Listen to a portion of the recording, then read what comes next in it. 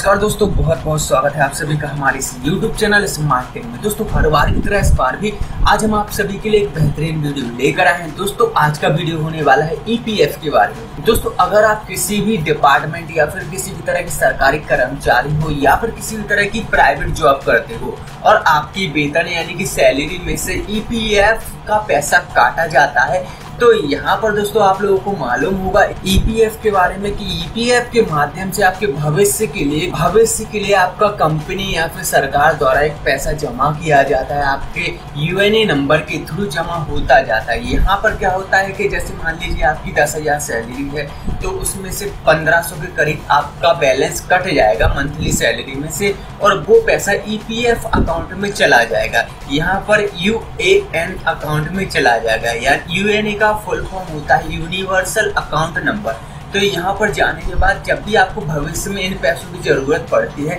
तो आप इन पैसों को निकलवा सकते हो। तो यहाँ पर आज का वीडियो इसी के लिए बनाया गया है कि किस तरीके से आप जान सकते हो कि आपका जो यू नंबर होता है वो क्या है और कहाँ से पता चलेगा? और यहाँ पर किस वेबसाइट के माध्यम से आप अपना यू चेक कर सकते हो? और यहाँ पर क्या कैसी क्या प्रोसेस रहती है? आप किस तरीके से पैन कार्ड लिंक करोगे या फिर और कोई अदर डॉक्यूमेंट्स आपको लिंक करना है तो वो भी आप लिंक कर सकोगे। यहाँ पर क्या कैसी क्या ऑनलाइन प्रोसेस होती है एक तरह से, वो आज की इस वीडियो में मैं आपको बताऊँगा।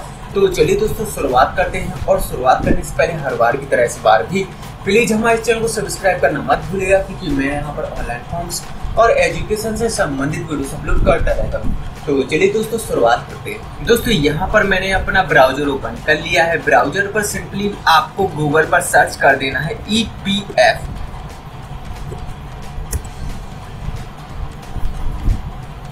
यहाँ पर आप जैसे ई पी एफ़ लिख कर सर्च करोगे तो यहाँ पर W W W dot E P F India dot government dot in की एक ऑफिशियल वेबसाइट आपको शो करेगी फ्रंट पेज पर फ़र्स्ट नंबर पर। यहाँ पर इसी वेबसाइट पर कुछ डायरेक्ट शॉर्टकट ऑप्शन आपको दिखाई देंगे, जैसे कि यू ए एन ई के वाई सी पासबुक यहाँ पर कुछ इस तरीके के आपको दिखाई देंगे। तो यहाँ पर आप जैसे कि यू ए एन से रिलेटेड डिटेल्स देखना चाहते हो तो यहाँ पर मैं यू ए एन जहाँ पर लिखा है, यहाँ पर मेरा माउस कर्सर जा रहा है। सिंपली क्लिक किए देता हूँ। क्लिक करने के बाद कुछ इस तरह का इंटरफेस आपको दिखाई देगा। अब यहाँ पर देखिए कुछ ऑप्शंस होंगे राइट साइड में, जैसे कि लॉगिन का ऑप्शंस हो गया, यहाँ पर फॉरगेट पासवर्ड का ऑप्शंस हो गया यहाँ पर एक्टिवेट यू ए एन का ऑप्शन हो गया और know your U A N इसका ऑप्शन हो गया। तो यहाँ पर आपके तीन चार ऑप्शंस काम के रहेंगे। जैसे कि लॉग इन यहाँ पर forget password activate U A N know U U A N तो यहाँ पर कौन सा ऑप्शन किस तरीके से यूज़ हुआ? मान लीजिए आपको कुछ भी जानकारी नहीं है यू ए एन के बारे में। अब यहाँ पर बात करते हैं कि आप अपना जो यू ए एन नंबर होता है, उसे किस तरीके से जनरेट करोगे या फिर जान सकते हो, ठीक है ना? जनरेट तो वैसे रहता ही है, लेकिन आपको पता नहीं होता है। तो यहाँ पर देखिए know your U A N यहाँ पर दूसरा नंबर का ऑप्शन दिख रहा होगा सिंपली आपको इस बटन पर क्लिक कर देना है। क्लिक करने के बाद यहाँ पर सिंपली आपको अपना मोबाइल नंबर डालना है। जो मोबाइल नंबर आपकी जॉब या फिर आपके कार्यालय में रजिस्टर्ड हो, ठीक है ना? उस मोबाइल नंबर को डालने के बाद पिक्चर कोड डाल दीजिएगा। यहाँ पर रिक्वेस्ट ओटीपी डालने के बाद यहाँ पर ओटीपी बॉक्स आएगा। उस ओटीपी बॉक्स में आपको मोबाइल पर जो भी ओटीपी आया हो, उस ओटीपी को डालने के बाद सबमिट कर देना है तो आपके मोबाइल नंबर पर यू नंबर आ जाएगा। ठीक है ना? मैसेज के माध्यम से आपके मोबाइल पर यू ए एन नंबर आ जाएगा। नंबर आने के बाद देखिए, उसे आपको एक्टिवेट करना होगा। एक्टिवेट करने के लिए सिंपली आपको activate U A N A button पर क्लिक करें। यहाँ पर अपना यू एन ए नंबर डालें। नंबर डालने के बाद यहाँ पर नाम date of birth PAN card के अनुसार ही डालें। इसके बाद यहाँ पर मोबाइल नंबर ईमेल आईडी हो तो डाल दीजिएगा। इसके बाद यहाँ पर आपको पिक्चर कोड डालने के बाद गेट अथोरिकेशन पिन बटन पर क्लिक कर देना है। तो यहाँ पर भी एक ओटीपी का बॉक्स खुल जाएगा और आपके मोबाइल में एक ओटीपी आ जाएगा।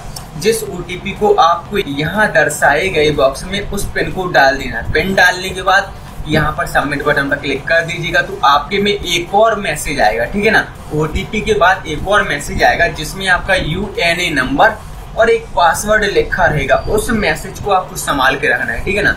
उस मैसेज के आने के बाद आपको दोबारा इसी पोर्टल पर आ जाना है।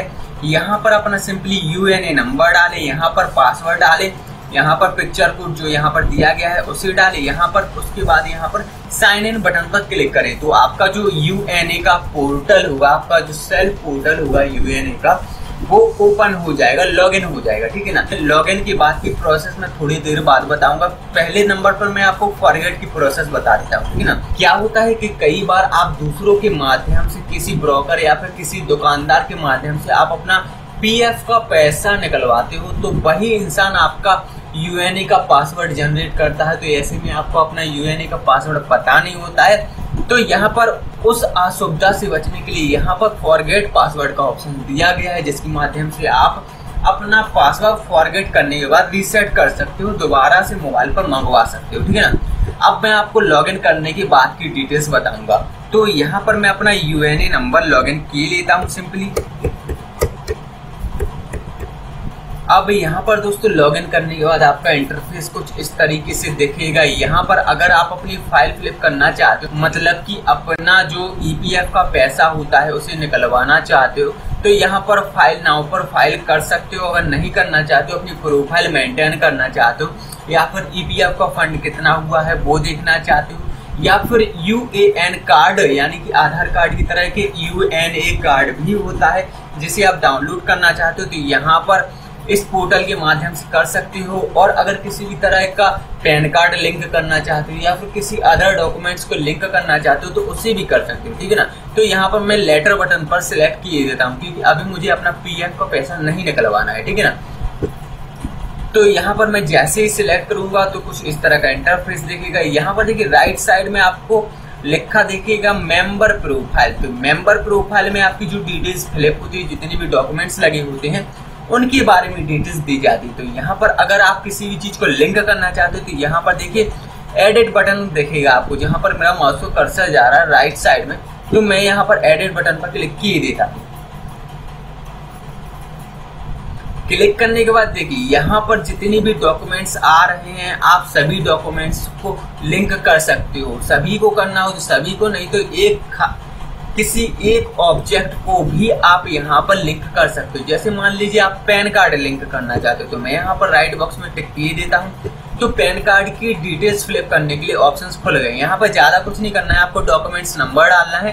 पैन नंबर यहाँ पर डाल दीजिएगा, यहाँ पर नाम डाल दीजिएगा और यहाँ पर सेव बटन पर क्लिक कर दीजिएगा। सेव बटन पर क्लिक करने के बाद जो आपके ऑफ़िस या डिपार्टमेंट या फिर आपकी कंपनी के सीनियर वर्कर होंगे, उनके पास आपकी रिक्वेस्ट पहुँच जाएगी। वहाँ से वो वेरीफाइड कर देंगे तो आपका लिंक हो जाएगा, ठीक है ना? यहाँ पर इससे ज़्यादा कुछ नहीं करना होता है लिंक करने के लिए। लिंक करने की छोटी सी सिंपल सी प्रोसेस है सिंपली यहाँ पर डॉक्यूमेंट्स नंबर और डॉक्यूमेंट्स के अनुसार जो भी नाम लिखा उसे डालें, उससे बटन पर क्लिक करें। तो जो आपकी कंपनी के सीनियर होंगे, उनके पास आपकी डिटेल्स पहुँच जाएगी कि आपके ईपीएफ e नंबर में कुछ नई जानकारी ऐड की गई तो वो वहाँ से अप्रूवल दे देंगे और आपका लिंक हो जाएगा, ठीक है ना? आपका अकाउंट में जो भी आपने लिंक किया है, वो चीज़ आपकी लिंक हो जाएगी। यहाँ पर चलिए, दोबारा से होम पेज पर चलते हैं और दोस्तों, इसके बाद होम पेज पर आने के बाद अगर आप अपना U A N card download करना चाहते हो तो यहाँ पर लेफ़्ट साइड में आपको दिख रहा होगा मोर इन्फो तो जैसे ही आप इस बटन पर क्लिक करोगे तो आपका ईपीएफ कार्ड डाउनलोड हो जाएगा। इसके बाद अगर आप अपनी प्रोफ़ाइल मेंटेन करना चाहते हो तो यहाँ पर देखिए इसके बाद दोस्तों, अगर आप अपनी प्रोफ़ाइल मेंटेन करना चाहते हो फ़ोटो अपलोड करना चाहते हो तो यहाँ पर ऊपर की तरफ़ व्यू बटन आपको देखेगा यहाँ पर आपको माउस का कर्सर ले आना है और यहाँ पर प्रोफ़ाइल लिखा दिखेगा सिंपली इस बटन पर क्लिक करने के बाद आप अपनी फ़ोटो अपलोड कर सकते हो, ठीक है ना? फ़ोटो अपलोड करने के बाद यहाँ पर अब बात आती है, देखिए, अगर आप अपना पासवर्ड चेंज करना चाहते हो तो यहाँ पर अकाउंट बटन पर आने के बाद यहाँ पर चेंज पासवर्ड का ऑप्शन मिल जाएगा। जहाँ पर आप अपना पासवर्ड चेंज कर सकते हो। तो उम्मीद करता हूँ दोस्तों, आपको ये मेरा छोटा सा वीडियो पसंद आया होगा। आई होप यहाँ पर आपको अपने सभी सवालों का जवाब मिल गया होगा। और अगर किसी सवाल का जवाब आपको चाहिए एडिशनल में तो आप मुझे वीडियो के नीचे कमेंट बॉक्स में कमेंट कर सकते हो। मैं पूरी कोशिश करूँगा कि आपके सभी सवालों का जवाब दे सकूँ। मिलते हैं नेक्स्ट वीडियो में। धन्यवाद।